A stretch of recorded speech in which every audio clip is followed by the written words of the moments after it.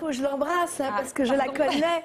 Je la connais, notre Babette. oui. hein. Ma Babette. Ah, bah, si, j'ai dû venir t'embrasser parce que êtes des copines. trop. Hein. T'as eu peur d'une dodo Café. Fouti café chaud. Hein. Café fouette. Fouti café fouette. C'est vrai que vous parlez créole oui, parce que maman est née en Martinique. Ouais. Ma grand-mère est née en Martinique. Je suis une cousine de Philippe Laville et moi, je suis née au Vietnam. Alors, Et votre première est- chanson, c'était Adieu les jolis foulards, adieu tous les madras.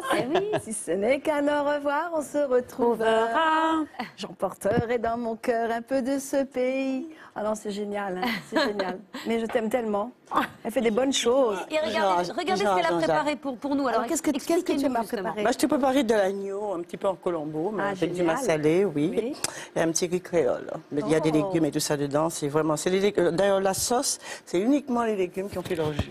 Ah, Génial. Ouais. Et pendant qu'on déguste ce repas merveilleux, on écoute euh, l'album de Annie Akatib qui nous rejoindra tout à l'heure Oui. pour le dessert. Je ne sais pas si vous le connaissez, mais je suis sûre que vous allez adorer. Quelles sont, vous chantiez Adieu euh, les jolis foulards, quelles sont les, les chansons, euh, vos chansons les plus diffusées euh, encore aujourd'hui? Bah, Il y a Bécassine, évidemment. Ouais. J'ai fait aussi le lapin en, en espagnol. Euh, un Ouais. por fin mato un cazador, es un conerito, es un conerito. Le panda.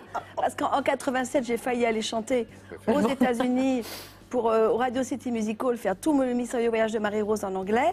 Et malheureusement, mon- producteur est mort. Alors j'ai dit, bon, ben, on fera ça un autre jour. Et panda en anglais, ça donnait Pandy, panda, love each other's bear, pandy, panda, for you, we truly care. Ah, c'est très, très vous mignon. parlez, vous parlez bien toutes ces langues ou, euh, Oui, je me débrouille. En, en anglais, oui, parce que j'ai passé toute mes, mon enfance à Londres, ma jeunesse à Londres. D'accord.